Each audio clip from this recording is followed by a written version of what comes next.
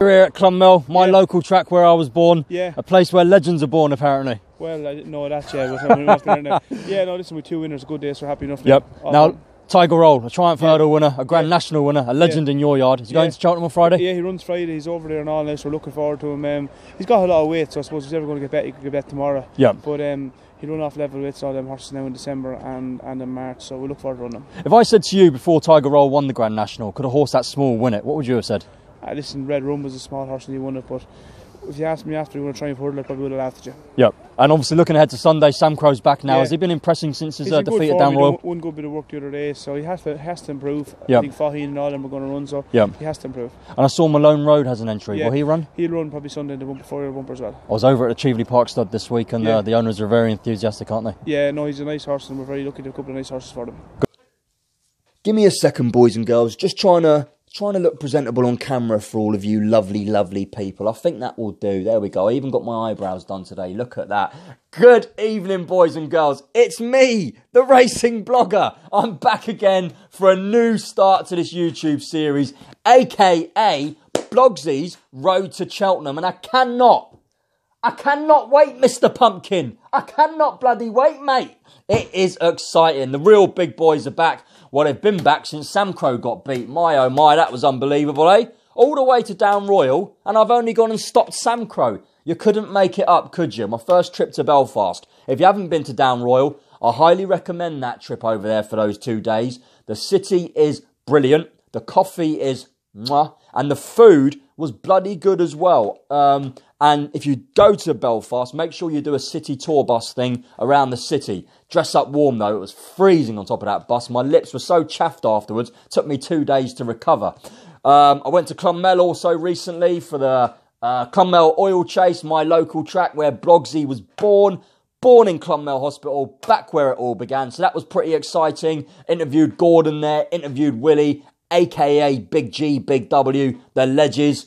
Um, and I love visiting some of these smaller tracks. Um, for me, I started racing blogger at Kempton on a Monday. So uh, for me, going to the smaller tracks on a smaller day where you've got the real hardcore racing fans, I should say, I personally really, really enjoy away from the big meetings. Anyway, Let's kick on. We're going to talk about Ascot and Haydock quickly. I'm short on time because I'm flying out to Dublin tomorrow morning for a good friend's wedding, which I'll fill you all about in about tomorrow. And we're going to have a quick look at Navan for Sunday. I've spotted a few horses running there who are quite interesting. So, thanks to all of you last year who interacted with these videos. Shout out to all of you who retweeted them and subscribed to my YouTube channel. You are Blogsy's family, and I've got a lot of love for you. Please keep on retweeting the videos. It means a lot to me. I put a lot of time and energy into these to bring you the entertainment. And all I ask is you bloody retweet them. Right, you maniacs. I love you. Let's get cracking with this new Road to Cheltenham.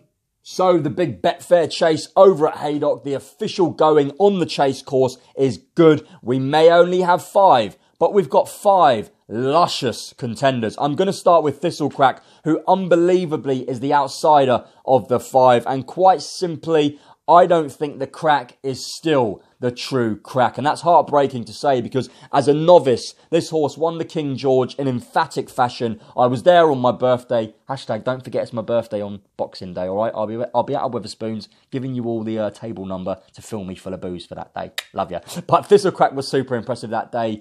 He went on to take on Many Clouds at Cheltenham over in January, and unfortunately, Many Clouds died that day. We lost the legend, and ever since that race, Thistlecrack's never been the same. He had a, a while off, he obviously suffered an injury, came back at Newbury in the long walk, where he was well touted to win that by the Tizzards, but um, he got beat as an 11 to 10 favourite.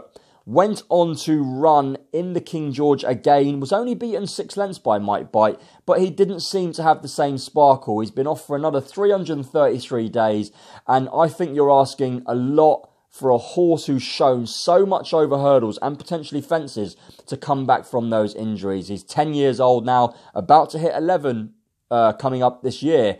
I don't think the crack is still the crack. If he proves me wrong, trust me, I will be one of the most pleased people. Hopefully, the crack can show his old sparkle, but I think it's unlikely. What do you think? Moving on to Clan des Obeaux for Paul Nicholls. Paul gave this horse the big G up in his Betfair column, but I don't really buy it. He's a 9 to 1 shot. He's a course winner here at Haydock. But let's face it, he's got 10 lengths to make up on Might Bite for the Betfair Bowl, for the for the Betway Bowl, I should say. The Betway Bowl. I'll be getting in trouble there. I'll get a phone call from Mr. Allen. We sponsor it, Blogsy. Not Barry, not Barry from Betfair, but he was um, 10 lengths behind Might Bite that day. Before that, he was beaten at Cheltenham by Guitar Pete, and I don't really think Clan des Obeaux has the credentials to be either of the top two in the market, Native River or Might Bite. Bristol De Mai. Nigel Twiston-Davies was reported as saying this week that he doesn't mind if its ground is faster. Well, I do mind because he's a one trick pony, we all know it. He's an absolute superb horse from the front when he can bully horses on heavy ground, and I don't think he's anywhere near the same on good ground. He's got seven lengths to make up with Might Bite, who was eased down to win at Aintree in the Betway Bowl, and I cannot see Bristol De Mai reversing the form at all. The big question is, will he even run? I think Nigel will make a decision tomorrow, so we'll find out more about that tomorrow. Moving on to the big two, it's revenge time. Native River taking on Might Bite. Listen, Native River is an outstanding racehorse. He's done nothing but improve. His resume is absolutely top draw. He hacked up in the Hennessy or should I say the Ladbroke, it was actually still called the Hennessy there, offer 155, went on to win the Coral Welsh National, offer 155. He stays all day long. He was third in the Gold Cup that year on good ground. That was a blinding run. The following year, he obviously had his um, a few small problems. Came back at Newbury the same day as Altior in the Denman Chase, hosed up and went on to beat Might Bite. Now, if you were at Cheltenham that day or if you saw the race, the ground was absolutely ghastly. Horses were finishing well strung out. Might Bite was cruising, jumping two out. I think he traded at about 1.34 on the machine, around that marker. And quite simply, the gas ran out. What you've got to remember is the Gold Cups run over three miles two and a half furlongs. Back at Haydock today, it's run over three mile one. It's a, a, furlong and a half shorter, which is 300 metres on better ground. You've got to ask yourself this one question. If you drop the furlong and a half and run the race on better ground, would Might Bite have beaten Native River? And for me, the answer is a very obvious yes. Moving on to Might Bite, is your even money favourite, trained by Nicky Henderson, who's in brilliant form. He's got an army of horses this year to go to war and I thought Might Bite was brilliant last year. He won the King George, admittedly not that impressive, but the ground was pretty taxing that day. Second in the Gold Cup, as we all know. Made amends back on better ground over at Aintree, hacking up in the Betway Bowl, and then he was put away. He's been trained for this race, as most of them have, but I think Might Bite will track the pace, probably sit in second place, and simply be too good for his rivals. Nicky Henderson's been very, very bullish. He's even been comparing him to Sprinter Sacre, which I think is a bit crazy. Nicky, are you getting carried away? But there will be no excuses for Might Bite. For me, he's the banker. He will win tomorrow, and I'm very, very excited about seeing Nico de Boinville back in the saddle. Let me know who's going to win down below. I think it will basically be a replay of the Gold Cup 1 2. And um, you know, Might Bite will be back in the winner's enclosure. I hope so. I really hope so, because I'll be watching from a wedding in Ireland, and I don't want to see him beat. Right, going back a race to 225 at Haydock, the Betfair Exchange Stayers Hurdle. This is a good pot, this 56 grand to the winner, and it's no surprise Ian Williams has got first assignment back out. He's running off a marker 135. He's still £8 ahead of the handicapper because he's due to be reassessed pretty soon. I was at Cheltenham when he won seven days ago, last Saturday. He hammered Boyhood nine lengths. He was eased down by Tom O'Brien. I don't know how many pounds this horse has ahead of the handicapper. But I'll tell you one thing I'll be very, very surprised if he can't win on this ground. It's going to be very similar to Cheltenham. He's very well handicapped, only carrying 11 stone. And quite frankly, I don't see any of the other horses in this race with the handicap ability of first assignment off a marker 135. I'll be gutted if he gets beat. And I think it's, a, it's been a very shrewd piece of placing by Ian Williams, who is one of the most talented trainers in the country under both codes, training flat horses and jumpers. He trains down in Birmingham, and when I get myself a horse, Mr. Ian Williams, I'll probably be sending one to you. I think first assignment's a banker.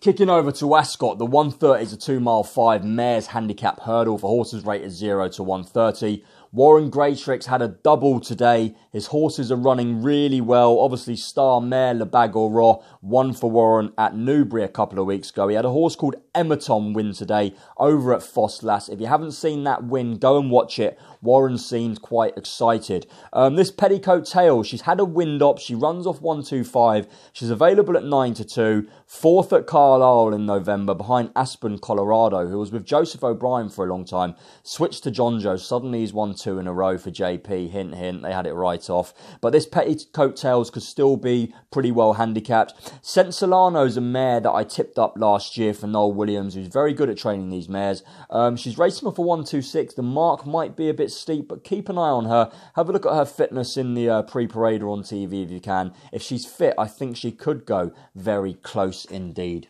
Now, it's obviously a major shame that Min hasn't come over because if Min was taking Politologue on again, it probably would have been a rematch of their Aintree race last year. That was one hell of a race, two of them going tongue to tongue all the way down to the final fence and barely uh, nostrils separated them at the line. There is no Min, but we do have Politologue, who is one of the most admirable horses in training and a real flag bearer for Paul last year. He won the Haldon Gold Cup, the Tingle Creek when he beat Fox Norton, and he went on to obviously beat Min. He's got a really, really good record, a great strike rate, this Flying Grey, a beautiful horse to look at.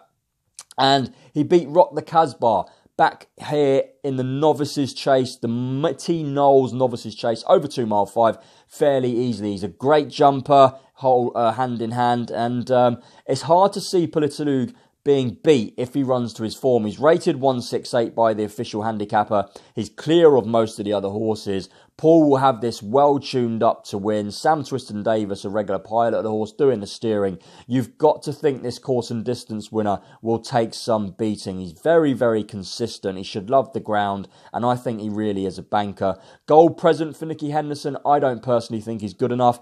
Benatar, the apple of Jamie Moore's eye. I interviewed him uh, a couple of days ago at Plumpton. He was really looking forward to riding this horse.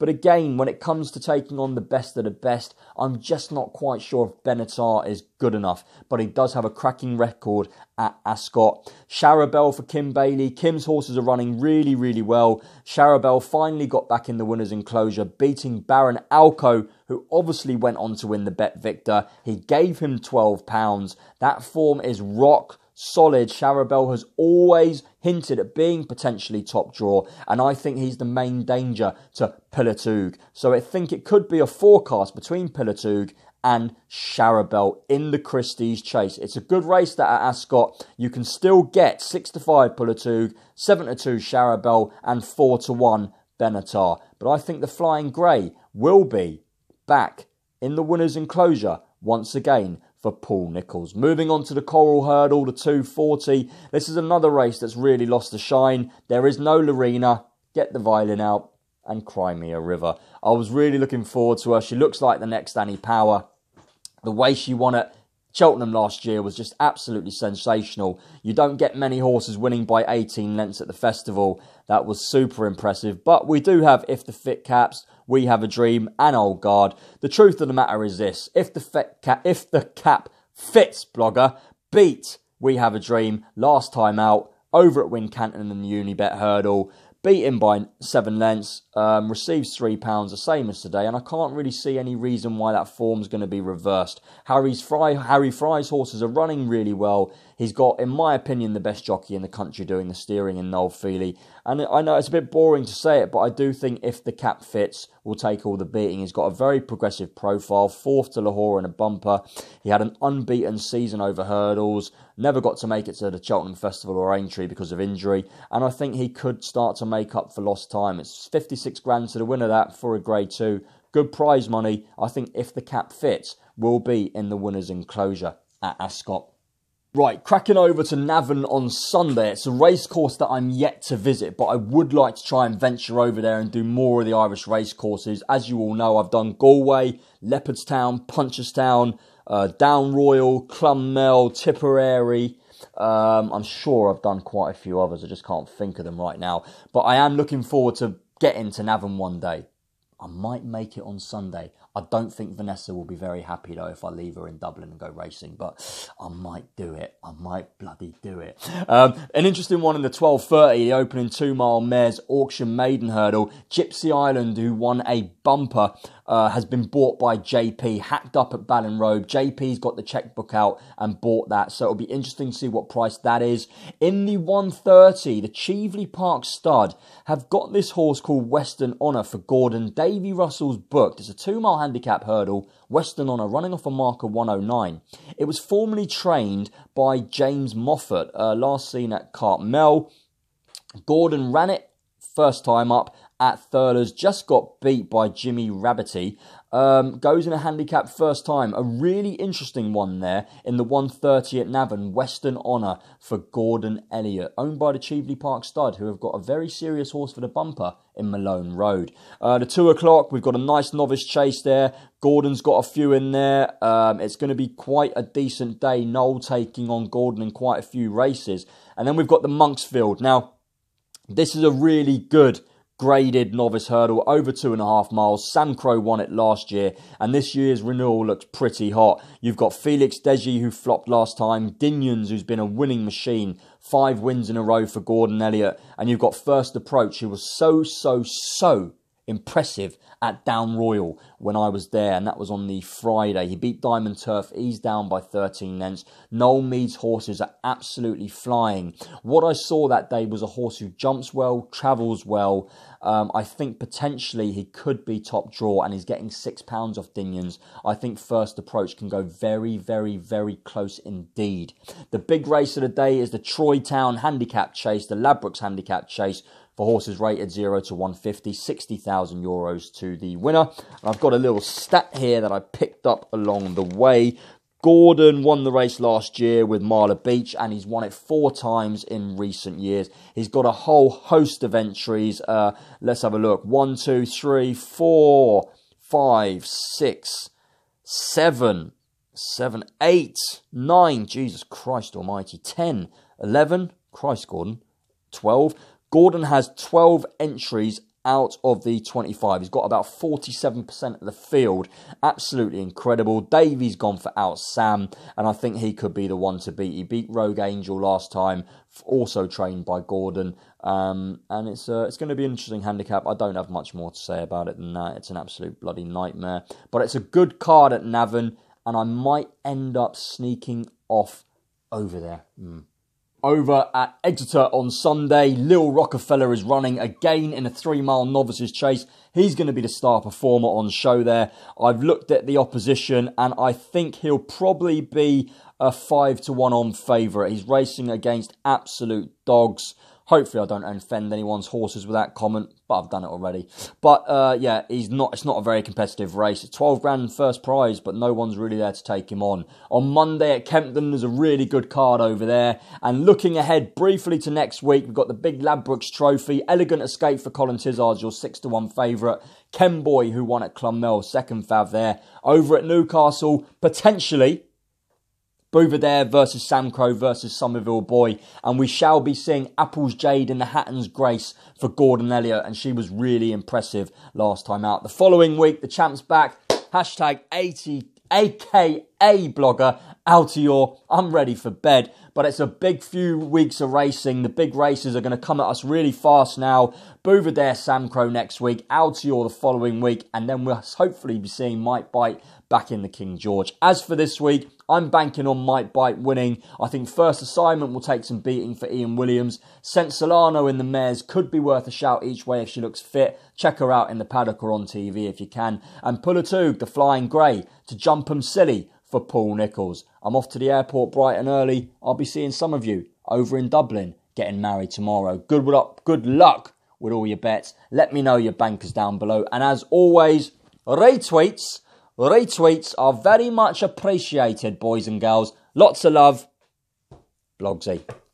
Yeah. Is there anything we should be looking out for in the future, a Jamie special yeah. for all the lads at home? Nah, look, I, I, I, do really like Benatar. You know, he's yep. he, he's a very nice horse, um, and he just weren't quite right the other day. But he, I think he's going to be running at Ascot Saturday, maybe. So um, hopefully he, he's definitely one of our good horses. Yeah. Awesome. Good to see you. And keep Top on man. banging in those winners. Cheers, mate. Made a few euros. Uh, how, how you doing? All right?